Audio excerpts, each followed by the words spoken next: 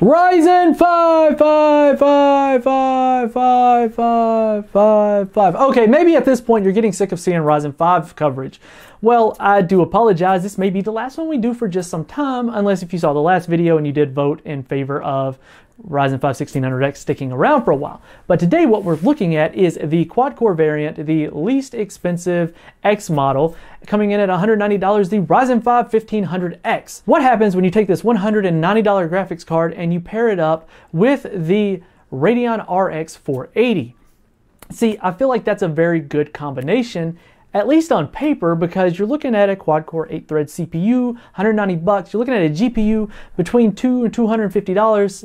It's going to be very similar to what a lot of people, I would imagine, that are spending that kind of money are going to be pairing together.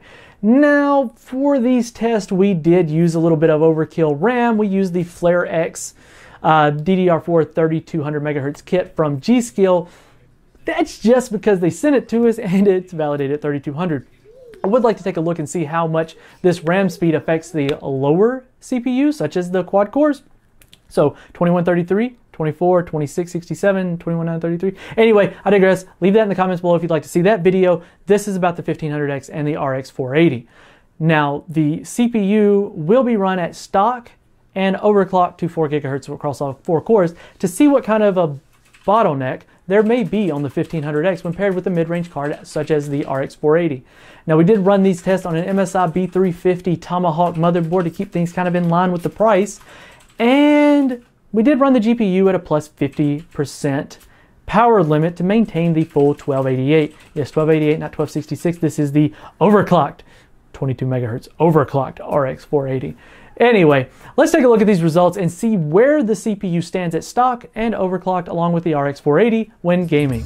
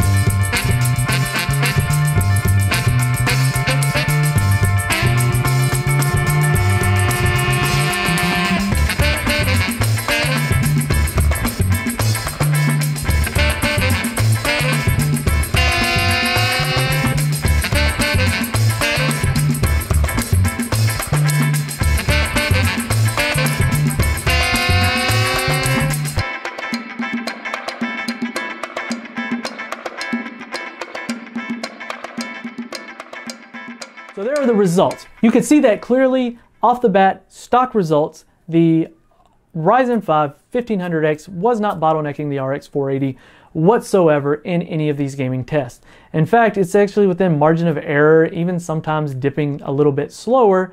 For that, I can't really explain it, but just routinely running the test, it, it averaged out that way. So the Ryzen 5 1500X with the Wraith Spire cooler. Mind you, all of this was done on the Wraith Spire stock cooler that it came with.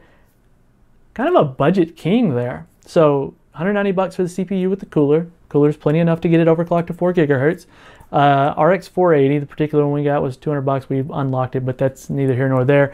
And uh, it's a good combination. Put out some very good uh, performance.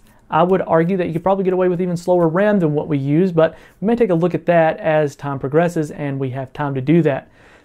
So is the Ryzen 5 uh, 1500X and an RX 480 a good combination? Oh, you betcha. It's quite good, in fact. Um, we would like to take a look as time progresses how the RX 480 and the GTX 1060 stack up when used with this CPU. I'm sure that's something you guys would like to see, especially with API overhead testing, uh, see which one actually holds it back or goes a little bit faster with the more mainstream CPU. Ryzen 7 1800X was a fun one to look at, but 8 core 16 threads at $500 is a little bit out of most people's price range.